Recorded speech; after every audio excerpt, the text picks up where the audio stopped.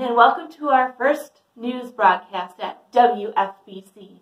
I'm Kelly Quickton. We've been busy tracking the stories of what some call the disciples of Jesus. These accounts can be found in the book of the Bible called Acts. It really escalated around Passover. This great Jewish celebration was interrupted by Jesus coming into Jerusalem on a donkey like he was a king. Everyone was praising him and putting their coats on the ground and palm leaves on the ground to show that they wanted him to lead them. But then less than a week later, the same people had him arrested and crucified. That was a super sad day for the whole world. But then three days later, his grave was empty, and he spent almost another month with his friends. Then one day his friends were gathered around him as he said goodbye to them.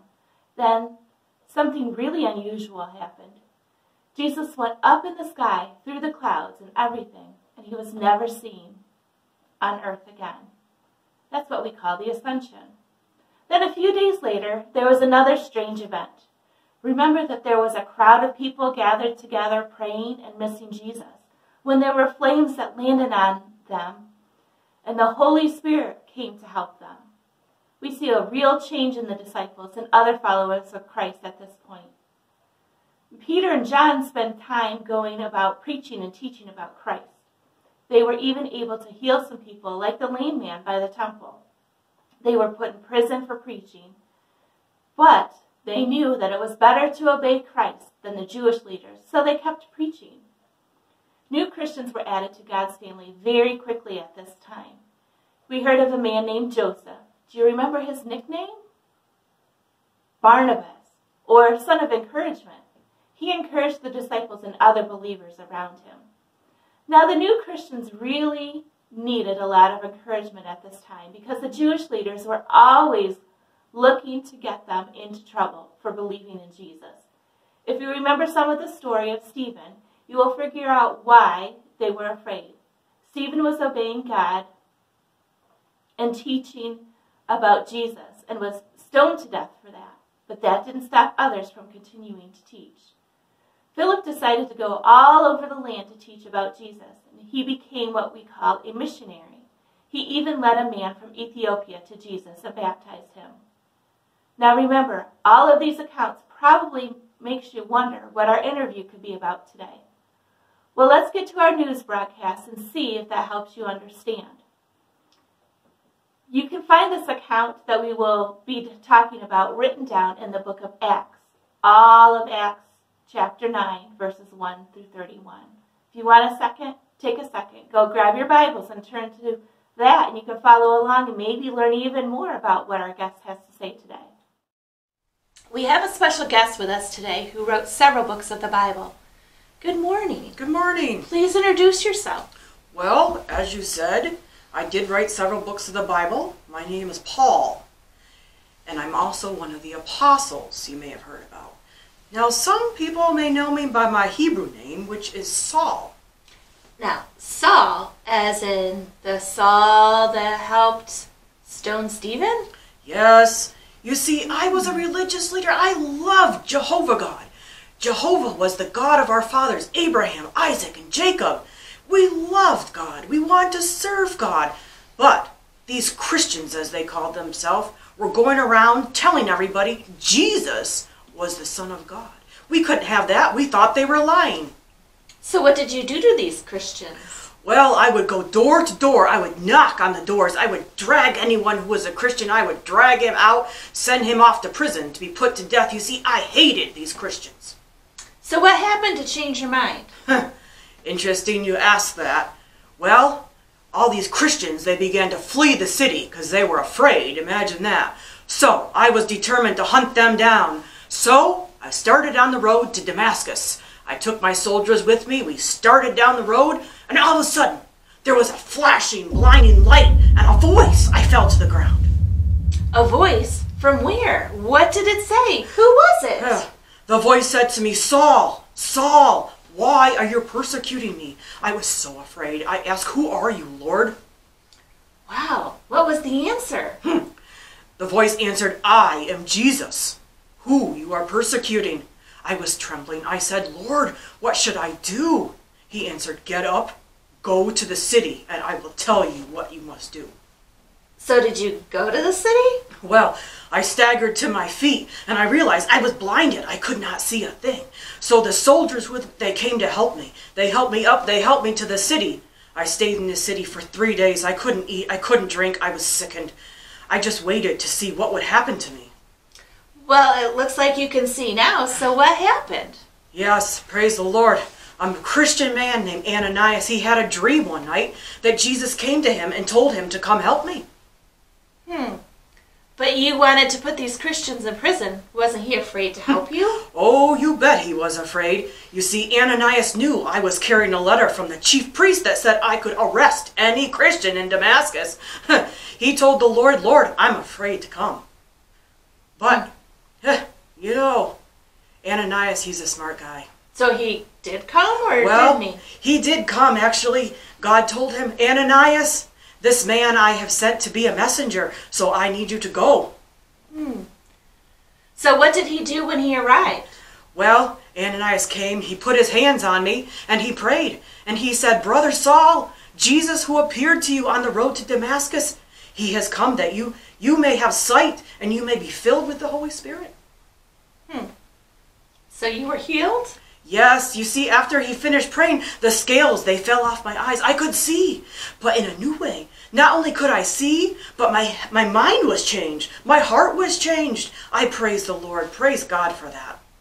Amazing. So what did you do next? Huh. Well, you know, I felt like a new man. So I began to eat. I began to, to drink more. I began to know who Jesus was. I began to go around preaching and teaching. I was baptized, and I've been preaching ever since. Wow, what an amazing story. What a strange twist of fate for the would-be destroyer of Christianity to now become the most well-known of all God's apostles. God's gift of grace was given to all the world. In his majesty, God can take even the most hateful of all people and turn him around for his own good purposes. Never think that you are unworthy for God's work. Even as God took Saul, the most unlikely, God can take you and turn you into a precious gem that will shine for all the world to see. He has a special work for you, too. We hope that you have a great week and that we can find a way to share Jesus with someone this week. Let's pray. Dear Heavenly Father, we are just so thankful for the story of our new friend, and character from the Bible, Paul, that we are learning has changed so much, Father, from wanting to kill Christians to becoming one that's fighting and fighting to share the gospel and share the love of Jesus with other people. We just are thankful to see the change in him, knowing that someone is that seems so evil can turn into be such a good follower of God. Lord, we just pray that you'll help the kids that watch this video and the adults that they would be able to understand and make changes in their life too as God would want them to. In your name, amen. So we'll see you next week. Bye guys!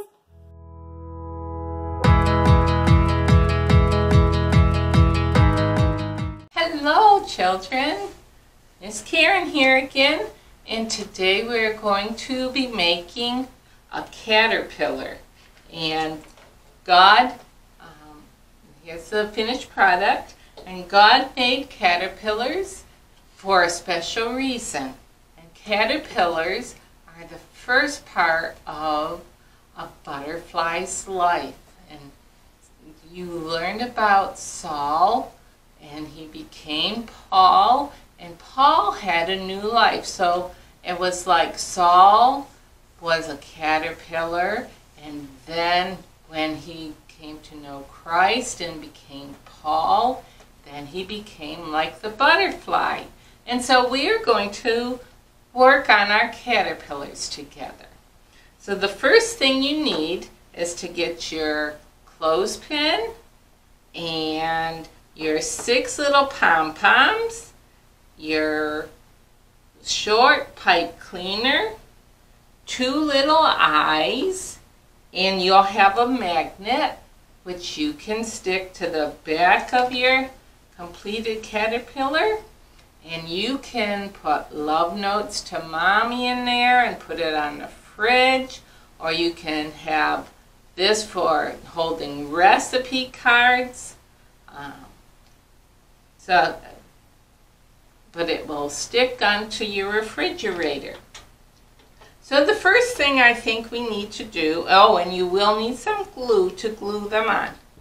The first thing you need to do is pick out which color pom-pom you want for your head. And I think I want the pretty yellow one. So you'll need your glue, and you can put a dot of glue onto the pointy end of your clothespin put your head on there. And we will let that dry. And I think looking at the caterpillar I think putting our antenna next so you'll fold the pipe cleaner in half into a like a V and put your dab of glue onto your clothespin. I got very leaky glue. And we can put the antennae there. Then we need the rest of the bodies. So I'm going to just make a nice strip of glue. And then I can glue all my pom-poms on.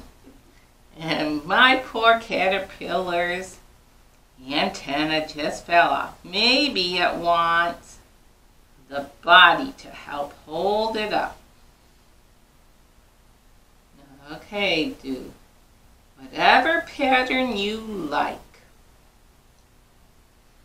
I'm missing one there. I wanted the green as the end because I think that green is a very happy color.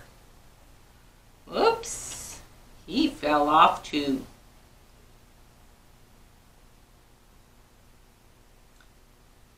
Want a nice sticky glue.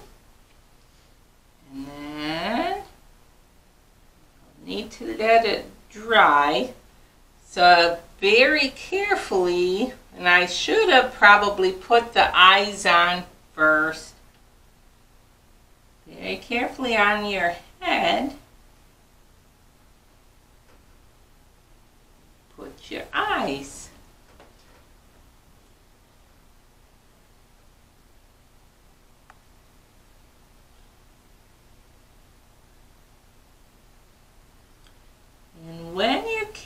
Caterpillar is all dry, then you can peel the back of your magnet off and stick it on the bottom of your caterpillar.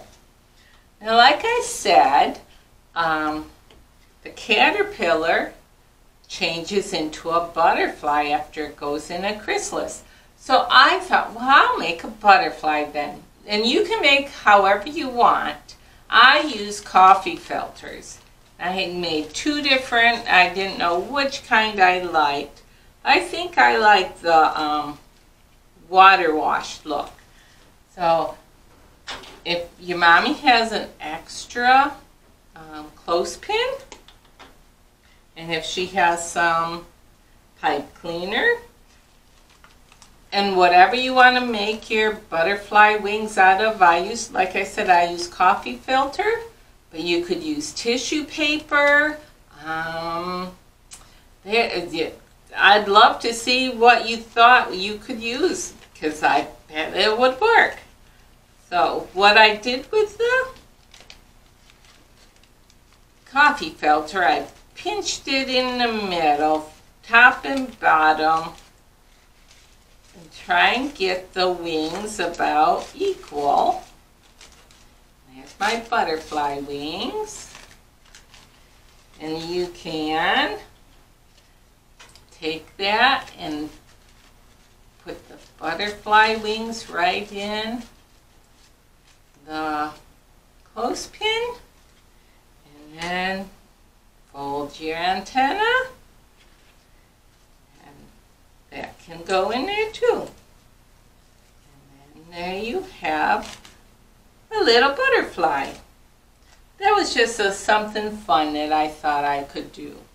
So I hope that you all are doing well. School is almost over, and um, I hear little things saying that you may be getting to uh, meet outside in the summertime, so that'll be wonderful. See you soon. Bye-bye.